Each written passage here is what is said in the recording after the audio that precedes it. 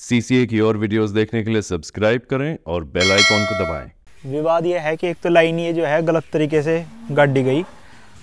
तो उसमें सबसे पहले तो यही है कि हमें सूचना नहीं थी। तो और ये पेड़ काट दिया गया, ये मेरी संपत्ति है, ये हमारी संपत्ति है, एक दो साल की मेहनत है, वो पेड़ देखो यहाँ से काट दिया गया। इसकी नुकसान की कोई भरपाई नहीं है और ज़बरदस्ती काटे गए हैं प्रशासन के द्वारा ये। टहनियाँ लगेंगी और करंट आओगा स्वाभाविक है। हमारे बच्चे खेलते हैं फिर दूसरी बात यह है कि हमारी भावनाओं को भी इसमें हाथ किया गया धार्मिक भावनाओं को। इससे खतरा तो होगा आपको भी। हाँ जी खतरा है ही सब नहीं है। अब तो जब तो हाथ लग जाए। बिजली देना है और सुरक्षा की दृष्टि से ही देख करके रोड पर तार है। न उनके उनके तरफ़ है न इनके तरफ़ है। तो दोनों पक्ष में किसी की तरफ़ नहीं है रोड पर। अभी क्या स्थिति है विभाग की तरफ़ से और फ़िलहाल तो लाइन चालू है। अगर किसी को दिक्कत है तो अप्लीकेशन देगा ऑफ़िस में तभी ना तो सुनवाई फिर होगा कि क्या चाह रहा है। बिजली विभाग इस पर जो है पुनः विचार करे और इसको सही तरीके से खींचा जाए, जिस तरीके से ये होनी चाहिए।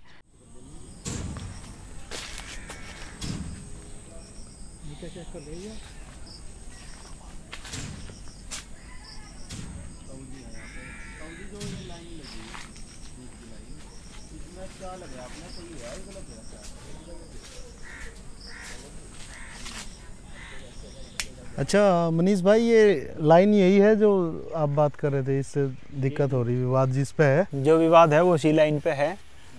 और विवाद ये है कि एक तो लाइन ये जो है गलत तरीके से गाड़ी गई। तो उसमें सबसे पहले तो यही है कि हमें सूचना नहीं थी लाइन की। कोई नोटिस पहले से नहीं नहीं हमारे पर कोई नोटिस नहीं आया। तो और ये पेड़ काट दिया गया ये मेरी संपत्ति है ये हमारी संपत्ति है एक दो साल की मेहनत है वो पेड़ देखो यहाँ से काट दिया गया। ये यहाँ से काट दिया गया। इसकी कोई जानकारी नहीं थी हमारे पास। तो इस नुकसान का कुछ भरपाई इसकी नुकसान की कोई भरपाई नहीं है और ज़बरदस्ती काटे गए हैं प्रशासन के द्वारा ये। दूसरा ये है कि ये गलत तरीके से बिल्कुल लाइन को काटा गया है। सर्वे नहीं था। अगर सर्वे भी है होता तो उसका। तो ये टेक्निकली जो है वो सही नहीं थी। या एसडीएम साहब ने एसडीओ साहब ने जो है इसका खुद पुष्टि की है कि ये जो पोल है यहाँ से इस पोल से जो है ये सीधी लाइन ऐसे जानी थी।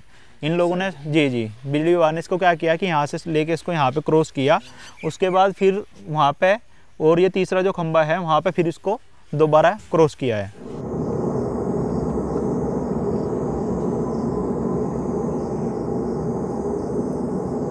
अच्छा मनीष भाई ये कब की घटना है? ये कब शुरू हुआ था ये मामला? ये लगभग भाई जी डेढ़ महीने पहले जो है ये पोल गढ़ने स्टार्ट हुए थे।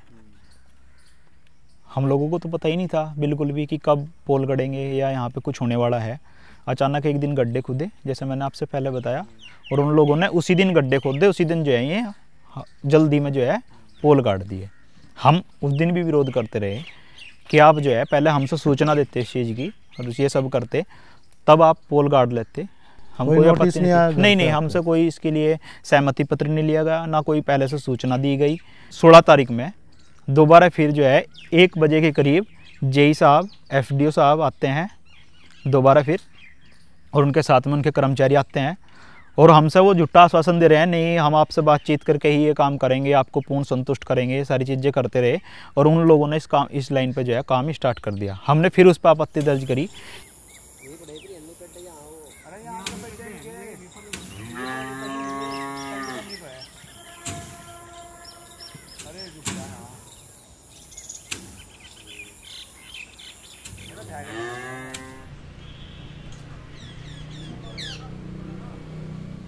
गाँव वाले विरोध कर रहे हैं इसका तो इस पर आपका क्या कहना है? मतलब गाँव के कोई विरोध नहीं कर रहा है सिर्फ़ उन्हीं दोनों में एक व्यक्ति का विरोध है और किसी का विरोध नहीं है। सब लोग खुश हैं कि गाँव की लाइन अलग हो गया क्योंकि भारत सरकार का काम है ऊपर से दबाव पड़ा।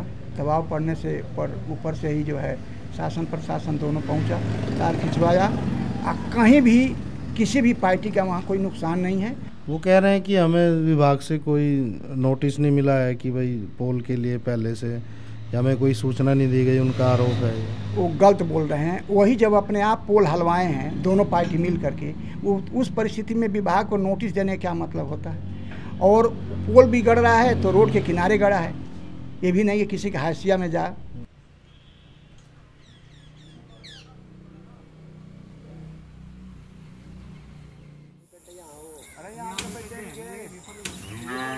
ये पेपर का पेल जो है, देखो, ऊपर से कितना झाँक दिया गया है। और ये सारी डालियाँ जिस दिन काटी थी, यहाँ पे सब रोड पे ही पड़ी हुई थी विभाग के द्वारा। कोई डाली हटाई नहीं गई।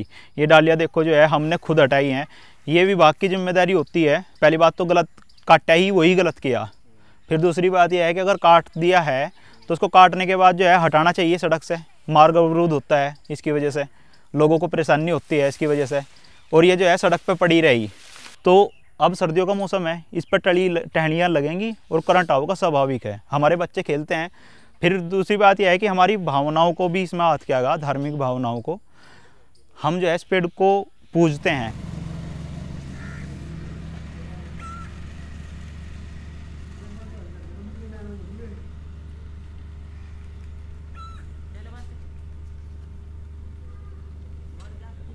सर वो जो लाइन खींची है वो क्या सुरक्षा के नज़रिए से वो सही है? बिजली देना है और सुरक्षा की दृष्टि से ही देख करके रोड पर तार है।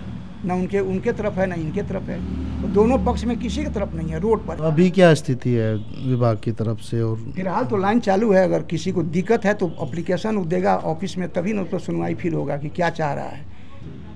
तो आपके हिसाब से सब कानूनी रूप से हुआ है? जी जी जी।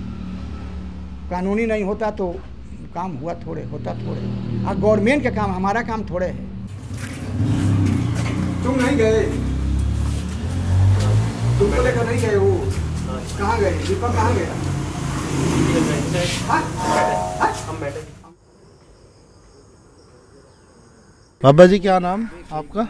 रकम ठीक है। अच्छा तो यही है आपका भी घर आसपास ही ये है नज़दीक की। अच्छा ये लाइन की खींची जो ग्यारह जारी लाइन। जी। इससे खतरा तो होगा आपको भी। हाँ जी खतरा है ही सब नहीं है। अब तो जब तो हाथ लग जाए तार टूट टाट जाए हाथ भी लग जाए वैसे। कुछ भी हो सके। हादसा हो सके कुछ। हाँ लालटा हो सके। और जैसे खेत में आने जाने में भी दिक्कत होगी आगे चल के हाँ खैर अभी दिक्कत ही है।